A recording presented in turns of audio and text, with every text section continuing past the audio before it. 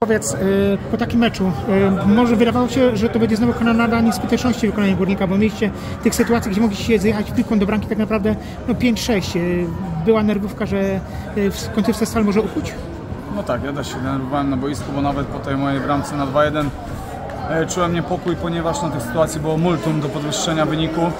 Te kontry, no praktycznie sam na sam, e, czy to Furukawa, potem Kamil Lukoszek, potem nie pamiętam kto, ale no tych sytuacji było bardzo dużo i powinniśmy szybciej zamknąć spotkanie, a nie czekać do 90 minuty, natomiast no E, całe szczęście, że, że to się nie zemściło, bo często nam się w tym sezonie zdarza, że te, ta nieskuteczność, te niekorzystne sytuacje po prostu się mszą i, pod, e, mszą i potem po prostu musimy gonić wynik, e, więc e, cieszę się, że, że mimo wszystko, mimo tych nie, nie, wielu sytuacji udało nam się zwyciężyć.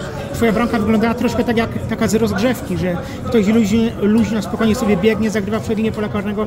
Ta piłka siadła idealnie, czy mogło być lepiej? Nie, nie, mogło być dużo lepiej, bo czysto ją uderzyłem, ale nie tak silnie, jakbym chciał. Natomiast ona była dość wysoko i moje zakresy yy, w nodze po prostu mi nie pozwoliły, żebym podniósł ją wyżej, więc yy, złapałem ją jak najwyżej ja mogłem.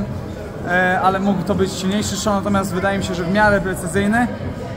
I też myślę, że bramkarz mimo wszystko mógł się trochę lepiej zachować, no ale to nie mój problem. Ja się cieszę z kolejnej e, dołożonej cegiełki do zwycięstwa, ale mówię, by ta bramka w ogóle mnie nie cieszyła, jakbyśmy to spotkanie zremisowali bądź przegrali. To był bardzo ważny moment, bo tak naprawdę gdyby nie ta bramka, to Zgadzam się. byłaby nerwóweczka tak naprawdę przez kolejne kluczowe momenty gry, tak? Dokładnie tak. Mhm. Powiedz mi, y, co się wydarzyło w pierwszej połowie, bo ta gra, y, tak naprawdę no Górnik znowu strzelił bramkę, może można powiedzieć troszkę szczęśliwie po przypadku, y, no ale kolejny rzut rożny i znowu tracicie bramkę, no to już jest naprawdę mnogość, tak prawda?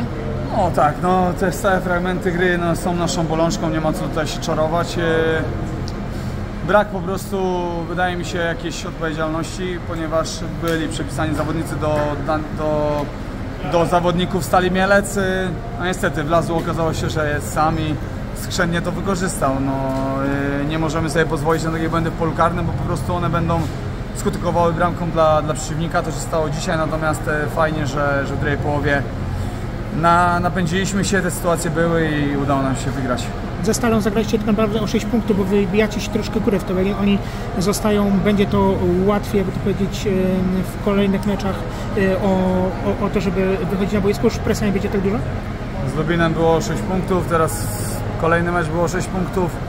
No i te mecze będą pewnie o 6 punktów cały czas. No e, wiadomo, no tutaj każdy może wygrać z każdym. Ja osobiście podchodzę do, do każdego kolejnego spotkania e, jak do ostatniego, ponieważ nie obchodzi mnie to, czy to przy, mówię, graliśmy z Legią Warszawa, u nich było 1-1. Ktoś by pomyślał, że przyjedzie Lubin i wygramy to spotkanie dość łatwo, ale tak się nie dzieje, bo każdy może wygrywać każdy te, e, z każdym w tej lidze. Więc e, taki urok właśnie ekstraklasy, natomiast na pewno troszeczkę oddechu możemy złapać jako zespół, bo no, gdybyśmy się po prostu w tą spiralę przegranych czy braku wygranej nakręcili, no to e, mogłoby być nieciekawie, a tak to po prostu to co, to, co wcześniej powiedzieliśmy, lekki oddech możemy złapać. Jasne. Wielkie dzięki.